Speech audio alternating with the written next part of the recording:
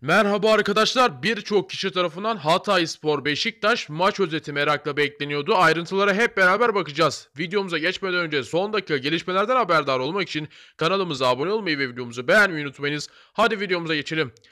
Dakika 3 Atiba defansın arkasından sarkan Larin'i düşünüp uzun göndermek istedi ancak savunma dikkatli.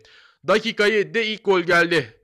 Ceza sahası dışında topla buluşan Abu Bakar döndü vurdu ve Akın'ı mağlup etmeyi başardığı durum 1-0 öne geldi.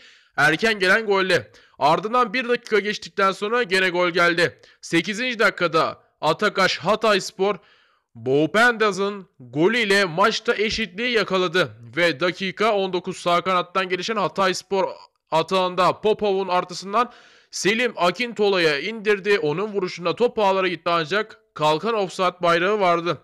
Dakika 23 Atakaş Hatay Spor Bapupendaz'ın golüyle maçta tekrar öne geçti Hatay Spor 23. dakikada. Dakika 41'de Beşiktaş 2-2 beraberliği sağladı.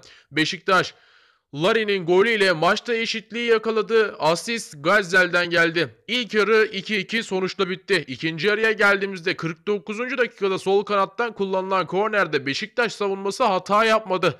50. dakikada ev sahibi yine sol kanattan geldi. Ribeiro yer aldığı kullanılan serbest vuruşta konuk ekip defansı topu uzaklaştırdı. Ve 51. dakikada dönen topa hareketlenen Bapupendaz'ın denediği rovaşata vuruşta top kalenin üstünden out'a çıktı.